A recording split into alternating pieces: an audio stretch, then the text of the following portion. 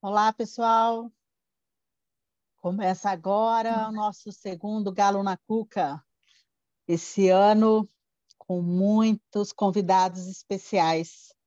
É importante dizer que a APP é quem promove esse encontro, esse bate-papo, Associação dos Profissionais de Propaganda, e o Galo na Cuca tem como objetivos incentivar a troca de informações entre o mercado profissional e a academia, através de encontros com professores e coordenadores de instituições de ensino superior, de comunicação, publicidade e propaganda. Gerar intercâmbio, atualizações, maior conhecimento de ambas partes do processo. Uma forma da APP Brasil contribuir para o aprimoramento e fortalecimento dos cursos de comunicação no país. O programa é totalmente gratuito, portanto, os professores só precisam fazer sua inscrição na plataforma.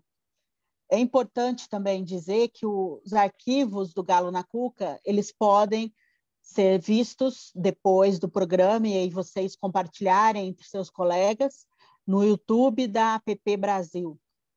E a gente tem uma ótima novidade agora. Quem participa do Galo na Cuca ao vivo, na nossa live, tem uma certificação que depois pode constar na plataforma Lattes de seus currículos. É, ao meu lado, eu sou a Melissa Moura, ao meu lado, Luiz Correia, que vai conduzir aqui, vai mediar o nosso bate-papo com a nossa convidada muito especial. Passo o galo agora para você, Luiz. Obrigado, Melissa.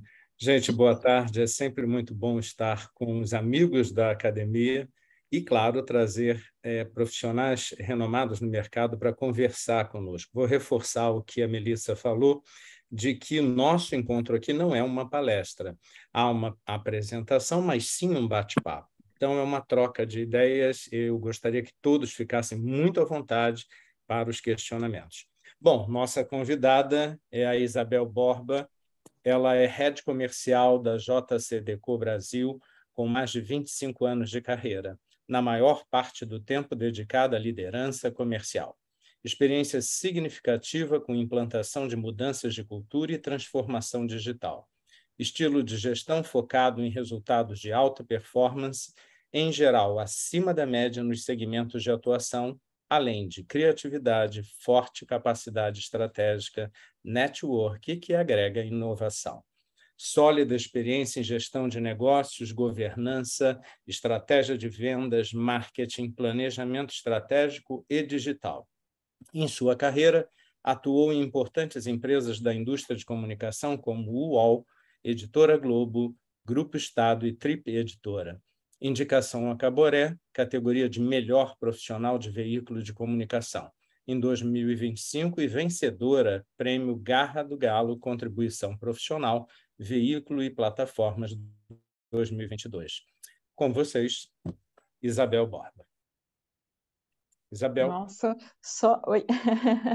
adorei, adorei essa introdução, muito obrigada. Foi 2005, espero que 2025 também. Opa, vamos lá. muito bom. É, obrigada pelo convite, eu estou muito feliz de estar aqui com vocês. Eu sou apaixonada pela app, é, contando um pouquinho da minha história, do meu amor com a app. Anos atrás, eu fiz, eu fui a editora do primeiro livro, que foi Crônicas, as Crônicas é, da Propaganda, então participei ativamente uma alegria poder estar aqui. E agora falando sobre OH, né? Eu acho que a gente e fiquem abertos, eu não sei como vocês vão querer fazer. Eu trouxe um, na verdade, eu trouxe um compilado de informações do meio, porque eu acho que eh, o meio vem crescendo muito, o meio tomou hoje uma importância, ele em termos de participação, de share, ele está em terceiro lugar, ele vem crescendo cada vez mais, é um dos meios que mais cresce, né, a olhos nus. Uh, muito provocado pela mudança de hábito das pessoas, então tem muita coisa bacana. Eu vou compartilhar com vocês essa apresentação, mas assim, eu queria que fosse também um bate-papo, porque senão fica uma coisa muito, né, senão fica um monólogo. Mas, é, e aí espero contribuir, tudo que vocês é, quiserem saber, a gente vai falando. Então, vou contar um pouquinho, começando aqui.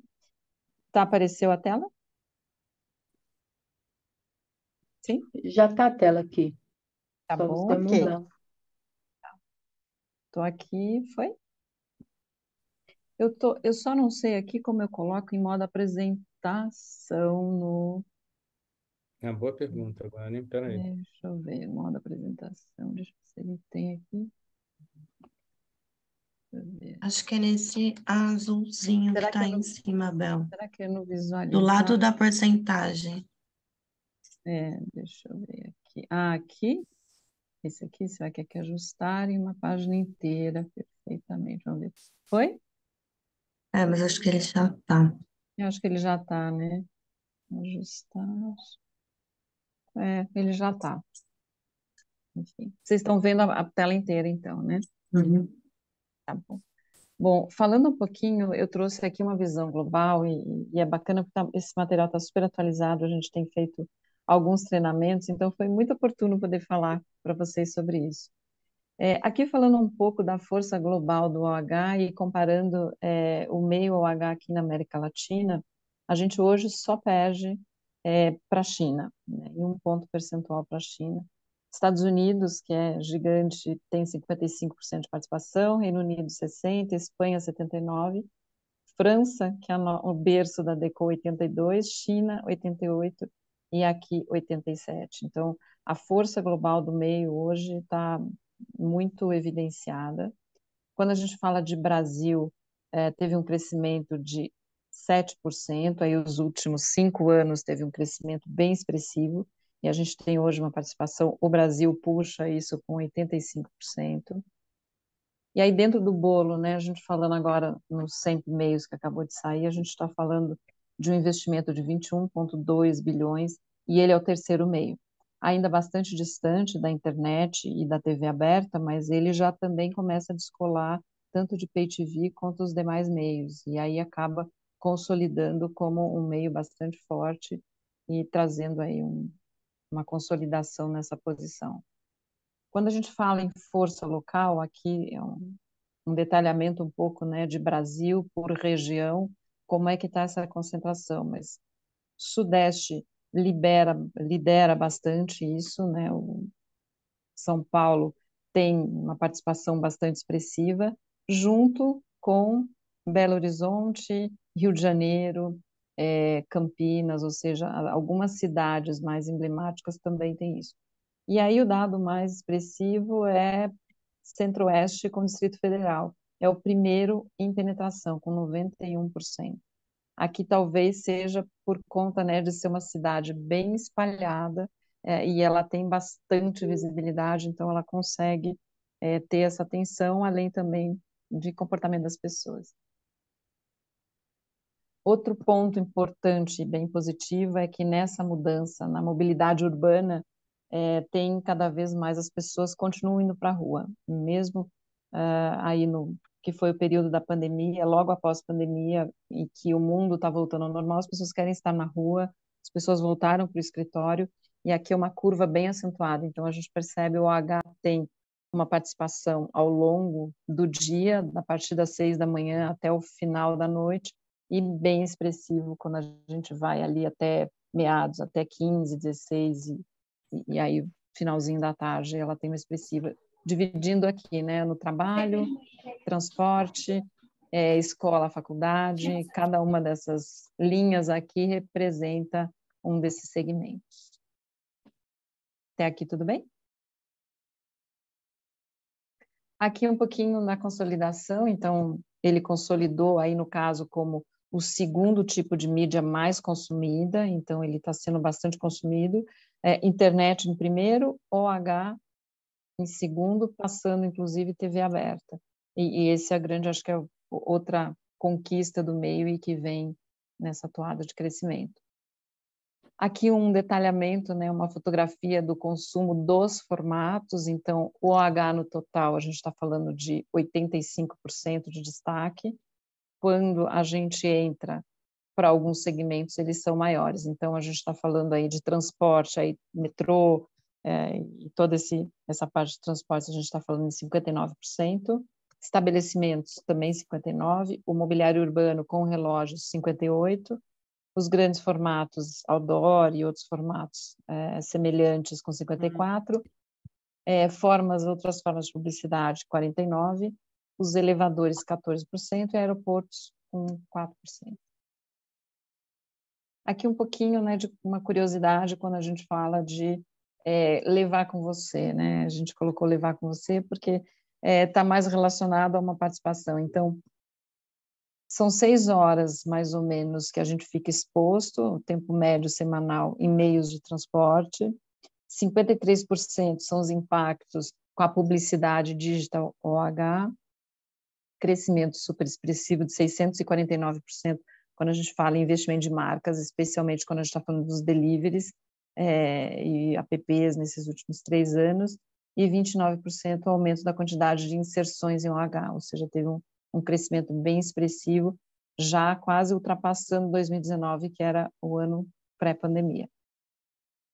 Uma outra coisa bacana é IOH, ele é muito complementar é, aos meios. Então, quando a gente olha TV aberta sozinha, é, e aí a gente olha TV aberta com OH, ele incrementa em pelo menos 20 pontos, em 20 pontos percentuais. Da mesma forma como a gente fala em internet, a gente está falando aí de 6 pontos percentuais. Então, é bastante expressivo, principalmente quando usado com TV, e ele é um meio muito complementar. Ele pode até ser usado isoladamente, mas quando ele é complementar e principalmente numa defesa de meios, ele reforça muito a comunicação. Aqui um pouquinho das tendências, né, formatos e tendências, então ele continua em constante crescimento, muito expressivo a partir agora dos últimos anos. E aqui um retrato um pouco das categorias, né? Então, quais são os investimentos e aí falando em APP, é, um destaque para o ensino escolar e universitário, né? que é um, são segmentos que têm usado muito, estão muito próximos do meio, junto com hipermercados é, atacadistas. Então, aqui a gente tem um, uma definição, um raio-x sobre isso, e, e, principalmente formatos em transportes, o ensino escolar está muito relacionado nos grandes formatos, tem um grande destaque, junto com é, estabelecimentos é, com a parte também de imobiliário urbano. Aqui, encerrando um pouquinho do meio, né, fazendo esse compilado, eu vou um pouquinho para o que a gente chama, e aí vou falar um pouquinho da Deco, mas a Deco é como um retrato um pouco do que os grandes players, e aí falando de eletromídia, Clear Channel, ou seja, as empresas, é, né, OH, Calas, eu acho que todas essas empresas hoje, elas estão puxando e elas vêm é, digitalizando seus inventários, elas vêm buscando a digitalização, e principalmente métricas que consigam entregar para as marcas é, análise, dados, é, porque o OH, pela sua característica de diversidade, e aí um, isso é um, uma premissa particular que eu tenho, é muito pessoal, mas eu acho que ela retrata o meio. A gente tem três categorias hoje de OH. A gente tem o que eu chamo os grandes players, e aí a gente está falando de Deco, Eletromídia, Clear Channel, uh, um pouco uh, das multinacionais. Depois tem um segundo layer, onde a gente está falando de Calas, NeoH, né, que são os segmentos e empresas que vêm despontando, que vêm tomando um crescimento. E num terceiro layer, o Brasil como um todo, que aí são as pequenas empresas, as empresas né, mais familiares, as empresas menores, que elas são diversos segmentos dentro do OH e, e que elas também vêm numa toada de crescimento e essas empresas uh, acabam tendo mais dificuldades de implantação de digital, ou elas ainda não têm inventário digital ou mensuração de dados. Então, é isso que a gente vem fazendo. Naqui, o que eu estou mostrando para vocês é o que a gente chama de Data Solutions. E, e o que, que é esse Data Solutions? É literalmente um ecossistema, e ele hoje é exclusivo da Deco, assim como a Eletromídia tem o seu, e a gente vem encontrando métricas para exatamente padronizar o mercado, mas a gente tem dados aqui de planejamento, engajamento e mensuração. E o que, que é isso?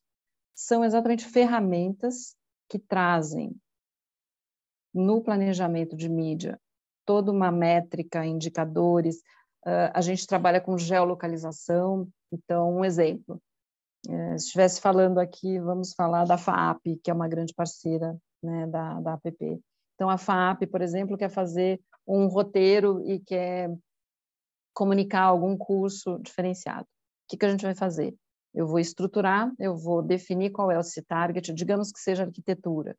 Uh, a gente vai tentar buscar o que está mais relacionado ao comportamento dessas pessoas, é, juntar com geolocalização e aí com isso tentar traçar no View, que é essa ferramenta que congrega tudo, qual é o melhor roteiro para eu buscar esse público, para eu ter mais assertividade nessa campanha.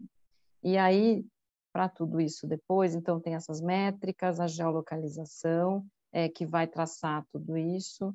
Eu pego o comportamento, onde elas vão eh, estar passando por isso, e eu entro depois numa segmentação, e nessa segmentação eu entro em visualização. Então, por exemplo, eu consigo fazer, através de uma ferramenta chamada Heatmap ou Creaction, olhar um mapa de calor e enxergar nesse material, ou seja, nesse espaço visual, consigo direcionar para a FAP, por exemplo, dizer, olha, você mexer na criação, aqui está com um tipo de letra que vai dar pouca visibilidade, aqui essa cor você pode usar mais um pouquinho mais forte. Então a gente consegue dar essa orientação pautado em inteligência artificial, é, com base no software que vai trazer a melhor visualização e impacto para ter um resultado bacana nessa mídia. Aqui eu trouxe um, outro exemplo, por exemplo, como se fosse o Bradesco. É, então, Bradesco, praça, é, antes sócio-demográfico, e agora em, colocando um comportamental. Então, a gente coloca pessoas com interesse em investimento, investimento mais ações, é, e aí a gente consegue também identificar quem visitou o Bradesco, é, o site do Bradesco nos últimos 90 dias. Isso a gente faz com parceiros, que é a Edsmovil, ou a própria Vivo, que é nosso parceiro, ou um outro é, parceiro como a Hands, que a gente vem feito isso. Então, em cima da base deles, a gente consegue traçar e entender um pouco de comportamento. E o resultado é isso. A gente vai selecionar as 296 melhores faces de São Paulo com afinidade 1.10 em cima desse target, ou seja, é muito, é, tem bastante afinidade e vai ter um roteiro bem assertivo. Isso no planejamento como eu falei para vocês. Aqui é um pouquinho de como que é o antes e como fica o depois, com as dicas que a gente dá é, em termos de acabamento, em termos de o que é a comunicação, como você ser mais efetivo e, e como melhorar o impacto visual aqui também. E aí fala-se engajamento. Então, o engajamento é o quê? Bom, a FAP está querendo é, buscar todo esse segmento, como é que a gente pode fazer com a interação? Então, se for relógio, a gente pode mandar push, e aí eu posso direcionar é, através do push uma comunicação que vai levar um desconto na matrícula ou algum gift, alguma coisa que vai fazer com que eles vão, com que esse público vá até a FAP ou ele entre no site da FAP para tentar tirar informação. E aí esse engajamento também pode ser com uma experiência criativa, pode ser um quiz, por exemplo, se for no metrô é, e isso tiver ali próximo, a gente consegue fazer um quiz com uma brincadeira, é, consegue traçar uma forma de interação, a gente pode coletar dados para um cadastro bacana também. E aí, aí eu já falei, né, ou tanto via MMS quanto push. Eu estou correndo muito porque eu sei que tem horário, então é meia hora, né? É, Isabel, é, a Mel aqui, é, sem querer te interromper, porque essa aula está maravilhosa. É, eu esqueci de passar uma informação para os professores que estão assistindo, é, para eles colocarem os nomes e as instituições das quais eles fazem parte, para que depois eles possam ser certificados. Então, vocês podem fazer isso pelo chat, pessoal. É, aproveitando já né, que eu interrompi a palestra, que não é uma palestra, mas esse bate-papo rico com a Isabel, coloquem seus nomes e o nome das suas instituições. Isabel, eu vou pedir para você dar dicas para nós, professores, de onde a gente pode buscar essas referências de mídia para auxiliar os nossos alunos a estarem mais preparados para trabalhar com você, para trabalhar com as agências, né? É, porque muitas obras ainda não têm esses dados, né? São dados advindos do mercado. É, logicamente que isso os professores que trabalham no mercado acabam trazendo. Só que a gente tem essa grande dificuldade ainda na academia em como trabalhar é, tecnicamente, teoricamente, é, essa aula que você está nos possibilitando, mas como a gente pode transportar isso nas aulas de mídia nas instituições lá no interior, por exemplo, que a gente trabalha Bacana. mais com outdoor, trabalha com Bosdor, trabalha com aqueles é, painéis de, de, pontos de ônibus, né? A gente está mais um pouco limitado é, frente a São Paulo, às vezes não dá nem para comparar. Mas quais são as suas dicas para nós, professores, dentro do que você está colocando aí para nós, é, para que a gente possa buscar essas referências? Olha, eu enquanto está falando, estava pensando. Eu acho que uma ótima referência, e coincidentemente hoje foi uma, uma reunião bastante rica, nós temos a ABOH, que é Associação Brasileira de Out of Home. É, e eu acho que a BOH está se fortalecendo bastante. Eu acho que é um lugar com bastante conteúdo e diversidade para poder buscar informação. A Andrea Vaz, que é a diretora executiva, é uma pessoa que é do mercado, ela foi mídia, então ela tem bastante conhecimento e eu acho que ela vai saber como acionar no momento certo qual que é, é o veículo, ou qual que seria o melhor executivo para trazer informações corretas para vocês. Porque eu acho que tem que ser alguém bastante isento, né? Eu, obviamente aqui eu estou falando da Deco, mas eu estou tentando trazer para vocês a visão geral do meio OH, porque eu acho que isso é fundamental porque a gente vai dar aula. É, eu lembro de mim, aluna, e então é, a gente quer, você quer saber sobre tudo. E dentro hoje do Out of Home, é o que você falou, dentro do Out of Home a gente tem o mobiliário urbano, é, que é a parte mais estruturada, onde a gente está falando é, de relógios, a gente está falando de é, o ponto de ônibus, a gente está falando dos MUPs, que são esses formatinhos é, que eles são quadradinhos e eles ficam ao longo das calçadas, principalmente no interior. É, banheiros, né, dependendo das cidades, algumas têm os banheiros, isso faz, tudo faz parte do mobiliário urbano em grandes capitais. Quando a gente sai das grandes capitais, a gente tem os relógios e a gente tem esses MUPs, por exemplo, a gente tem em São Luís, a gente tem Fortaleza, então você tem tudo isso.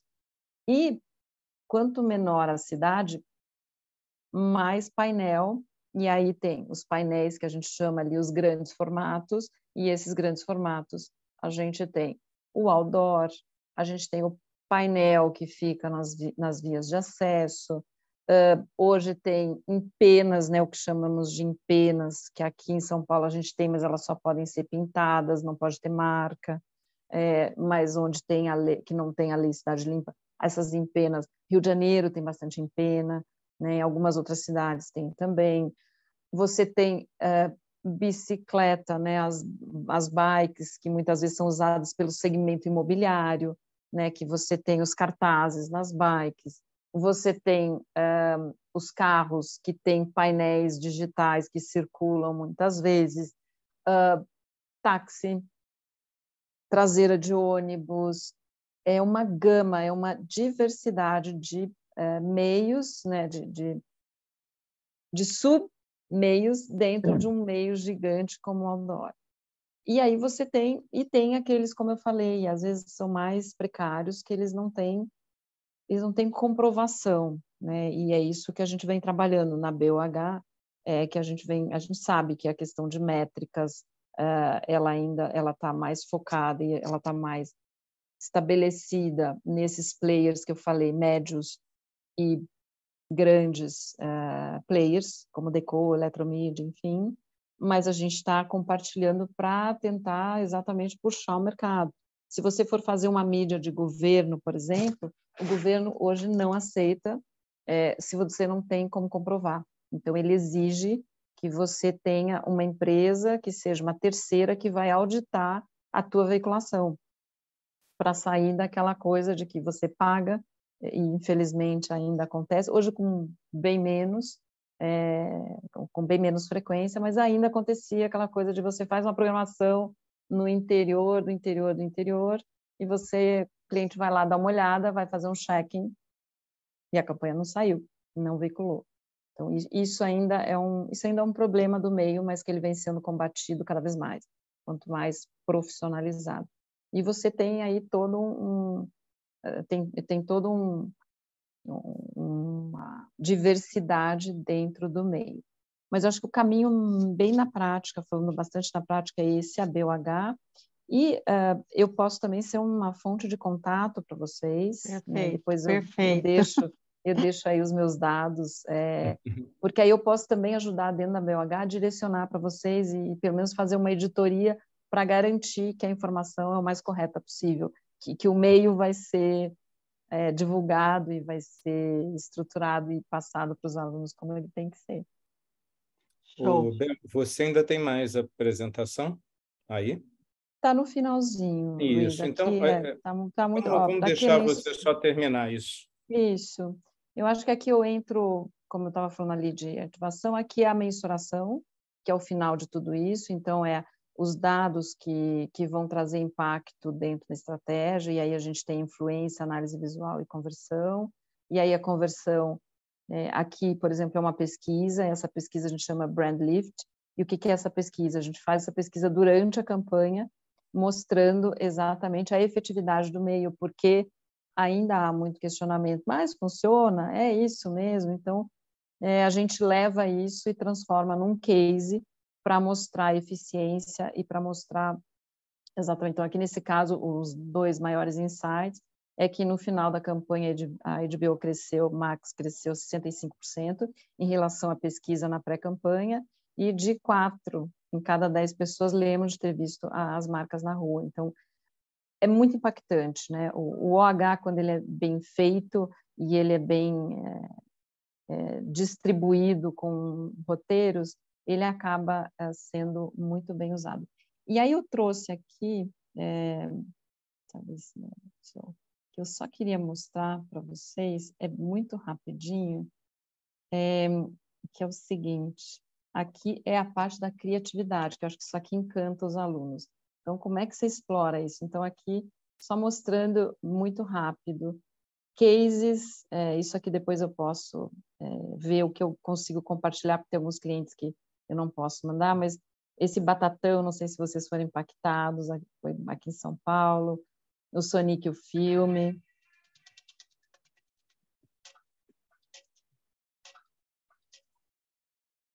Esse é um perfume que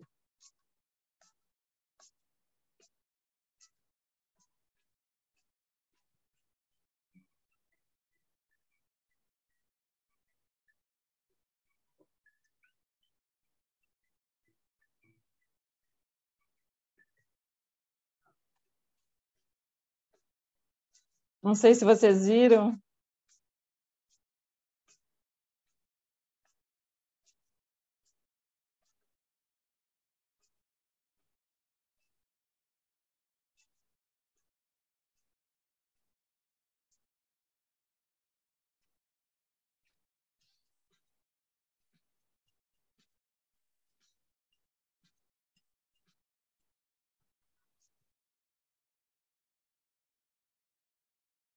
Já estou terminando. O Boticário. Esse foi do LGBT Pride. Então, assim, somos mais diferentes segmentos. Esse aqui foi no Rio de Janeiro, do Itaú. Esse aqui é um coworking dentro do aeroporto. Então, além, esse aqui foi para a Amazon, para Black Friday, o filme do Elvis. Esse é uma delícia. Esse o cliente não amou, ele não sai mais agora de OH depois que a gente fez essa experiência com ele. Eu dá vontade de comer, né, quando a gente fez. É que eu vou pular porque é mais ou menos, né, o making off da campanha. E é um pouco isso. Esse foi no Rio de Janeiro, a caneca de chopp. Esse foi no Rock in Rio. Aqui também, Rock in Rio. Esse aqui é um pouco daquele... É esse aqui, ó.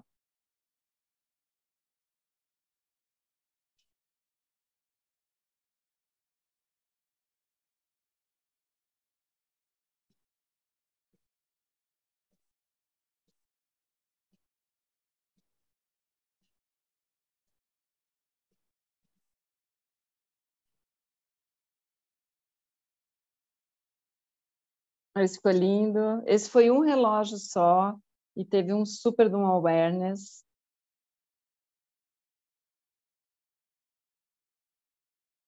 Esse foi muito simples e olha que bonitinho, foi também, teve um super sucesso. Aqui, o produto aqui não foi, a NBA teve que tirar do ar o programa, mas a mídia foi muito bacana. Outubro Rosa, é isso, gente. Aqui no aeroporto, as bandeiras para Fórmula 1, aqui também. Esse do Bradesco Cartões também é um dos que eu mais gosto, porque foi um sequencial. Então, eles criaram toda a coisa lúdica de que você usa o cartão para coisas prazerosas. Então, a, a pipoca para o cinema, a mala, a porta do hotel e o hashi para fazer o jantar. Esse foi para Primavera Sound, essa garrafa do Bifitter. Aqui o Black Friday da Endemol, do Amazon de novo. E esse lounge a gente construiu no metrô para dar destaque para cada um dos patrocinadores. Ah, e esse é o mais fofinho, que é a Vandinha, que teve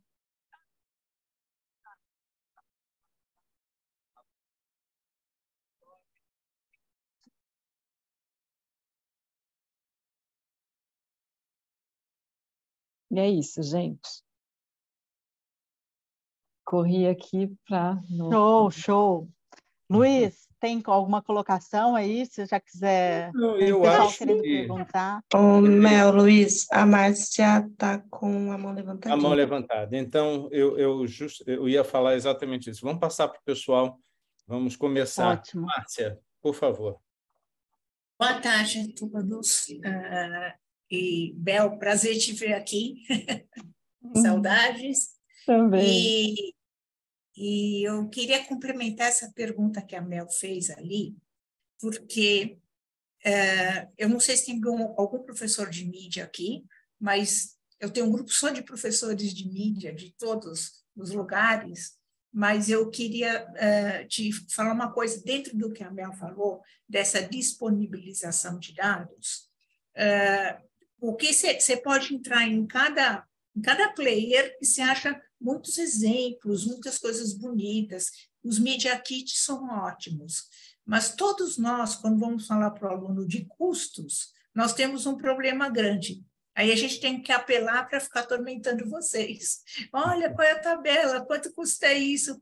E para eles terem uma noção de qual é o custo, não, não só de mídia orofome, mas de tudo. Então, o caminho é lá com a Andréia. Porque é importante essa coisa de custo, porque aí você fala de um relógio, eles falam, nossa, mas que absurdo. Aí você explica por que, que é o custo, por que, que ele se compõe. Marcinha, excelente ponto. E acho que, acho que esse é uma, uma outra fragilidade que hoje na, na reunião da BUH é com a Andrea, é, o que, que a gente combinou? A gente não está no Jovidata, por incrível isso, que pareça. Tá? Isso. É, isso é uma coisa que eu não sei por que não estamos. Eu tenho uma percepção que talvez seja é, ainda o meio está né, tá se organizando e está se estruturando. E a partir de hoje, a gente conversando sobre isso, sabia talvez que vocês fossem fazer essa pergunta. não, por coincidências não existem, mas a gente tratou desse tema. Uh, a partir de hoje, a gente vai concentrar na Andrea o envio da tabela e aí a gente passar a tabela para a gente começar a ah, subir ótimo. no Jovidata. Imagino que daí já vai ter um, uma resolução. Ajuda bastante. Ah, vai ajudar bastante. A outra é exatamente o media offer, né? A gente é, posso aí depois compartilhar com vocês media offer da Deco, mas aí cada player tem que tem que compartilhar o seu próprio é, Eles são excelentes, né? Eles são excelentes. Você abaixa, você está disponível, acho que para todos na internet. Ah, tem tá muita informação, né? E, e realmente a melhor of home é muito complexa. Demanda um trabalho de nós professores de quando Sim. montar uma aula sobre ela, isto, ir de player em player, porque é muito diversa, né? até dentro de um player. Mas isso de, dos preços subirem já ajuda muito, muito. Eu estava até para conversar com a Andrea em nome desse grupo de professores de mídia aí. Então, faça aí, se quiser, eu posso participar junto, porque tá. eu, tô, eu faço parte, né, desse é, trabalho lá com, com eles, posso ajudar, pelo menos a intermediar e direcionar exatamente o que vocês precisam com essa, com essa conversa que a gente está tendo aqui. Mas acho que a gente precisa se organizar. E aí eu vi que tem uma pergunta relacionada a isso aqui no chat também, sobre os custos, e aí, por exemplo, tem uma coisa que é o custo de mídia, tem outro que é o custo de produção. Esses projetos todos que eu mostrei, ele tem um custo de produção que ele, ele é relativamente caro, né? digamos, um, o valor de um, de um projeto como é, vou dar uma, um valor de referência, talvez o Batatão, entre o, entre o Batatão é, e, o, e o Bradesco, um relógio, ele está entre, dependendo da complexidade, entre 120 e 150 mil reais produção. Mídia não tem aí, porque aí a mídia é cobrada de uma forma diferente. Às vezes a mídia acaba sendo mais barata do que o valor de produção, mas quando você faz a rede, né, que você faz o roteiro, você vai ter mais você tem 70 relógios, 150 relógios de mídia e um de produção, acaba diluindo isso. Mas também depende de target, o KPI que você, quais são os objetivos da campanha que você está definindo, como é que você quer fazer isso. Uh, quem acaba fazendo realmente esse tipo de projeto são as marcas, são as, as marcas mais é, as marcas líderes, as grandes marcas que querem trazer mais awareness, que querem fazer algo com, por exemplo, com o social. Então, por exemplo, o Batatão, o Vivar, acabou estimulando mais o social, é, por isso ela fez só um relógio com projeto especial, fez um roteiro é, de digital dos relógios, mas ela acabou fazendo muita coisa no PR. Então, são combinações, e é aquilo que eu falei lá atrás, o, o H é muito complementar, né? E ele traz muito destaque quando você usa a criatividade, faz uma coisa diferenciada é, é gigante. Não sei se vocês foram impactados, a gente lançou um produto novo no aeroporto, que é o icônico 3D LED, que chama anamórfico. É o primeiro na América Latina interno, tem outros externos, mas é o primeiro em aeroporto. A gente lançou ele em Guarulhos. Depois eu vou mandar para o Regi para ele distribuir para vocês.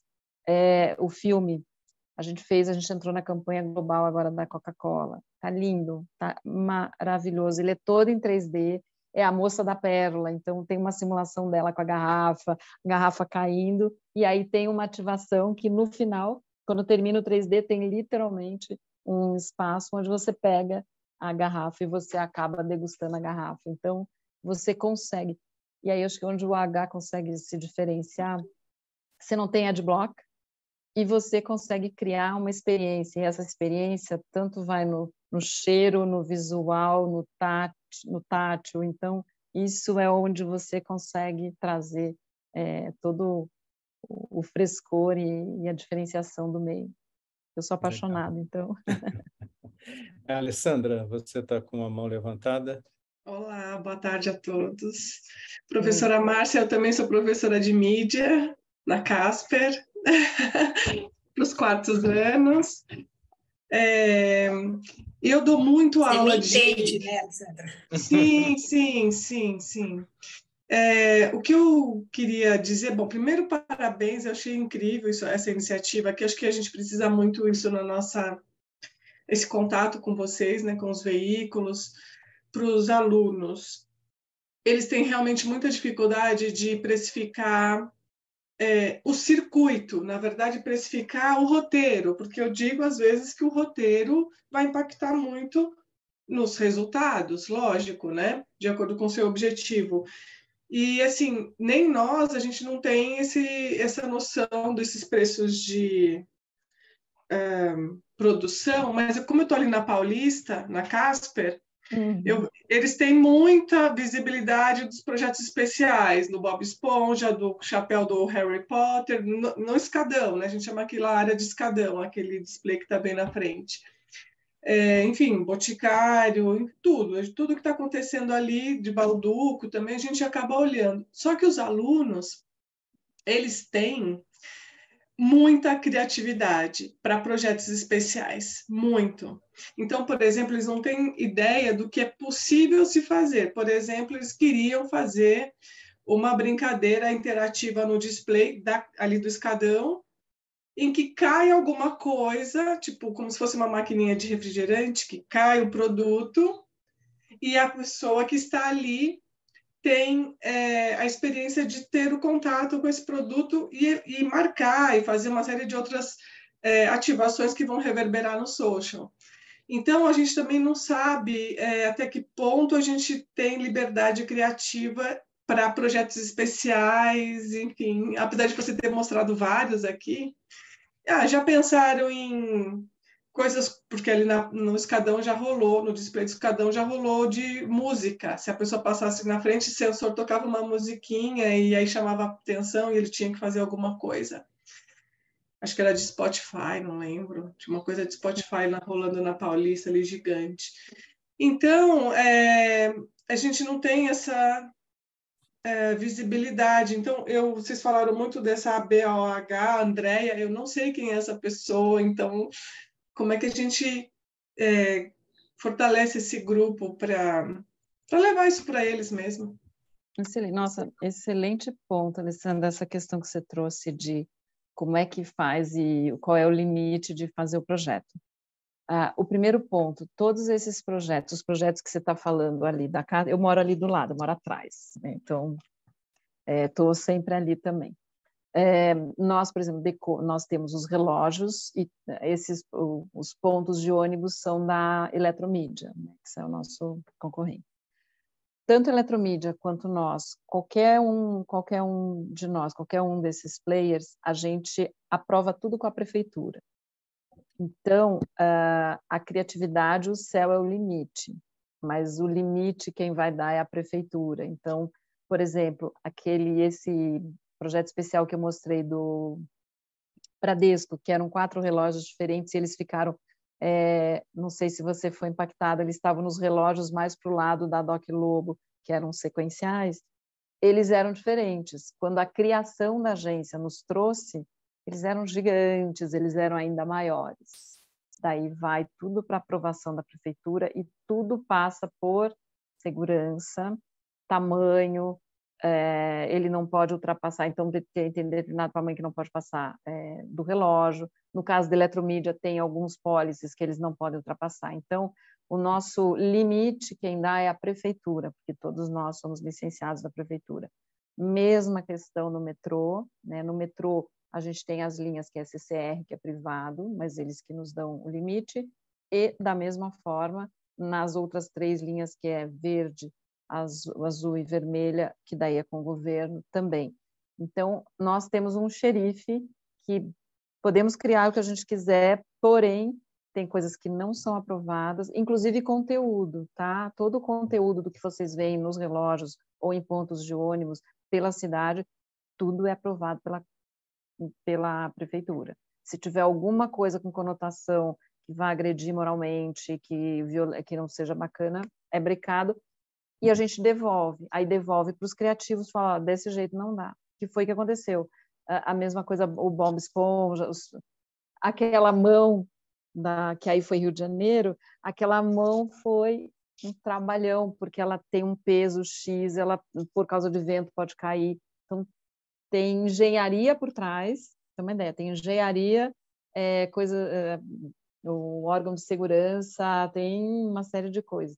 O primeiro que eu mostrei do Amazon, tive que refazer ele, porque no primeiro ele deu um, passou um vento e ele caiu. Então, assim, é, tem, tem questões aí muito delicadas e que você tem que corrigir rápido ou limitar.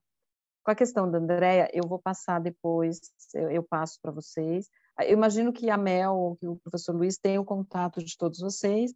Depois Sim. eu compartilho, eu através do e-mail compartilho os dados da BOH, os dados da Andrea, os meus dados, para a gente ficar em contato. Perfeito. Legal, obrigada. A Lina está com a mão levantada, Lina? Tô, eu vou ah, aproveitar, os, todo mundo está fazendo pedidos. Na realidade, sim, muito obrigada por você estar vindo. Ela, é, é muito importante mesmo essa, essa, essa conversa que a gente está tendo, esse projeto do Luiz com a Mel aqui na APP se aproximar do, do pessoal do mercado, porque é, as, outras, as outras áreas, assim, direito, medicina, isso é muito constante, né? Da gente tá, tá, tá próximo. Aí quando chega em publicidade, tem essa certa dificuldade, e te ouvir falar e o pessoal que está no mercado também é, tem que refazer as coisas, porque é isso, né? A gente faz um esforço danado dentro da faculdade para conseguir trazer esses aspectos, mas não consegue cumprir tudo porque nossa nosso sistema é muito descentralizado. Eu queria deixar aqui uma dica, né, do canal do anúncio, eu não sei se os colegas conhecem, eu estou acompanhando essa startup há um bom tempo, eles estão tentando fazer esse processo digital, de conseguir diminuir, assim, bater na porta aí toda hora de todos os veículos pedindo dados, né? Então, se for possível também fazer uma parceria lá e tentar numa plataforma, vocês deixarem os dados lá também é importante. Mas eu queria que você, se você pudesse comentar um pouquinho também a parte do digital, né? Você falou do que foi feito do trabalho da Coca-Cola, eu usei esse exemplo. Eu sou uma pessoa privilegiada, tenho um, um aluno que está na Coca-Cola, então ele pôde comentar algumas Ai, aspectos. Ele ama, ele ama o fato dele estar estagiando é, e tendo a oportunidade de, de ter a experiência com vocês, ele assim, ele já quer ficar na parte de mídia, quer fazer esses, eh, continuar na área. Mas assim, é, eu adorei aqui as conversas com relação à produção, que sim, na hora que a gente vai pensar né, nesse lugar, tem que pensar na produção, mas a gente está com mais uma camada de complexidade, e tem a ver com a parte de, de ter oportunidade de, de, de fazer programações e planejamento de conteúdo disso, é, é um lugar de cocriação, né? Não dá mais para fazer sozinho. A gente tem que chamar é, é, vocês ou todos os outros que você diz que é parceiro nessa área para cocriar junto. Então, assim, se você puder deixar algumas dicas do que, que a gente pode já preparar essa nova geração para diminuir a refação daqui a alguns anos com vocês nesse lugar, também seria muito importante. Boa, ótimo ponto. Você me deixa aqui a oportunidade de falar de digital. Uh, aquela parte que eu apresentei ali de data solutions, né, onde a gente, quando eu estava falando de métricas, ela está muito ligada a essa questão digital. É, esse nosso crescimento aí do meio de 7%, ele certamente agora ele vai ser exponencial, porque é, a grande maioria dos veículos está se preparando para entrar na programática. Né? E o que, que é? Que a gente tem o D OH, que é o Digital Out of Home, e o PDOH, que é o Programático DOH. Então, é, acredito que pelo menos mais um, um, um, dois anos, a gente vai estar com quase todo o inventário de mídia out of home digitalizada ou preparada para a programática. É, e isso realmente vai ser um salto, porque a partir do momento que você consegue fazer a programação é, automatizada com programática, o meio vai dar mais um salto, ele vai crescer mais ainda. E o que, que é isso? É exatamente o uso, só que a programática. Eu diria que seria uma outra aula para eu poder falar mais, né? Porque aqui hoje eu dei um, apanhado do meio no geral. Mas quando a gente entra na programática do out of home, é, ela é diferente da programática tradicional. E onde é que está essa diferença? Basicamente, as questões de tecnologia, a questão de distribuição, é, a distribuição dos canais, a questão do portfólio digitalizado é o mesmo. Só que no caso da programática do out of home é que nós somos one to many, diferente da programática convencional que é one to one. Então, quando eu faço uma programação dentro do out of home, eu estou indo de one to many. Eu vou fazer, eu vou, uh, eu estou agora com uma campanha, por exemplo, de MSD. Eu não sei se vocês foram impactados, que é uma campanha do Ministério da, que é de, que é da herpes zoster, que é uma campanha que foi feita pelo laboratório, uh, não é o Ministério, o laboratório EMCD, EMCD que eles estavam fazendo a campanha de vacinação para herpes zoster foi toda em mídia programática. E aí, como que é essa programação? É o canal, é o formato que eu tenho um a gente chama de slot, né? Então, dentro dos meus dentro do digital, então eu tenho relógios digitais, relógios estáticos e dentro dos digitais eu tenho programáticos e só digitais. E aí, na programática, a gente fez exatamente a campanha para é, para MSD. Foi uma campanha bastante bacana, bem sucedida, é, e que na realidade qual que é o grande diferencial? É na realidade é mais um canal. Por quê? Porque você tem mais um canal. No caso da, da programática, eu consigo ter uma entrega e eu consigo ter uma mensuração com os KPIs que vão me pautar e me comparar com a programática tradicional. Então, eu consigo ali entregar os views, eu consigo entregar tudo aquilo que na programática tradicional você usa, eu consigo entregar na programática do Out of Home. E isso traz mais parâmetro de comparação. Quando eu faço uma programação digital, eu tenho agilidade para fazer uma entrega, então eu consigo atender super bem um varejo. E aí eu entro na questão do conteúdo que você falou. Então, por exemplo, McDonald's. Então, o McDonald's ele quer vender, digamos que ele quer vender o Sunday, ele quer vender o milkshake, ele quer vender o Big Mac. Então, tá no horário do almoço, no horário do jantar. Ei, estou passando na rua. E isso pode ser tanto digital quanto só programático. Que aí eu uso o conteúdo, eu subo horas e mudo isso rapidinho. Então, oi, Lina, você está passando aqui, não é tão personalizado assim, mas é, oi, você que está passando aqui, você está com uma fome? Para aqui no McDonald's. Daí eu consigo, eu consigo fazer a programação dele no que a gente chama de Drive to Store. Então eu pego os endereços das lojas do McDonald's, traço os roteiros próximos, tanto com relógio, ou se for a eletromídia, com pontos de ônibus, ou metrô, estações próximas às lojas do McDonald's, e eu consigo passar meio-dia próximo do horário do almoço ou próximo do horário do jantar, para você passar lá para o McDonald's. Ou final de semana, ei, tá de bobeira, você tá passando aqui, quer um sundae, tipo, quatro da tarde, cinco da tarde, ou um cafezinho no Mac Café? Então, eu consigo, essa, eu acho que a grande vantagem que daí é o programático ou digital, é que eu consigo trabalhar com conteúdo customizado, porque daí eu trabalho bastante com isso, que é, se for um carro, por exemplo, eu consigo você está passando perto da concessionária da Volks, quer fazer um test drive do carro X que está sendo lançado? Então, esse tipo de, de coisa que a gente consegue usar no digital.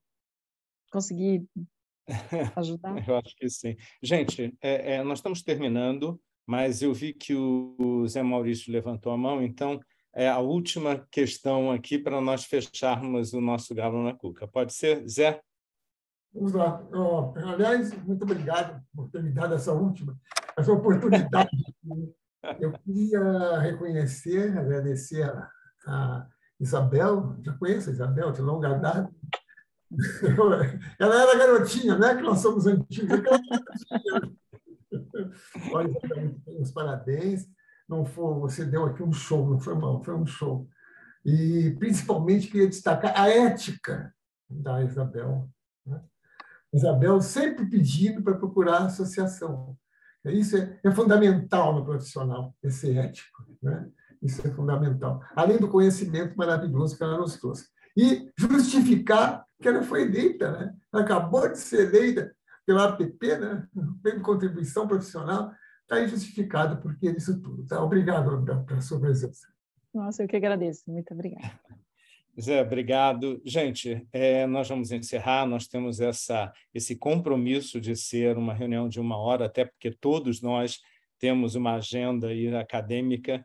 É, então, eu, em nome da PP, agradeço a presença de todos. E, Bel, é, eu vou reforçar o que o Zé falou.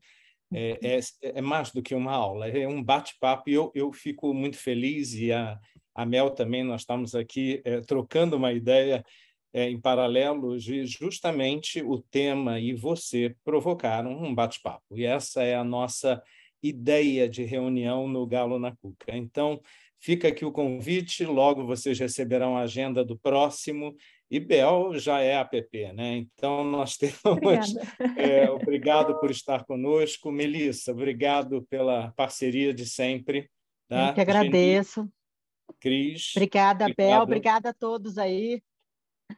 Boa, boa tarde, tarde pessoal. todos. Nossa, eu que agradeço. Adorei rever vocês, que gostoso e uma honra poder compartilhar as informações com vocês. Depois eu passo os dados para a gente ficar em contato Isso. e tudo que vocês precisarem podem contar comigo. Perfeito. Obrigado.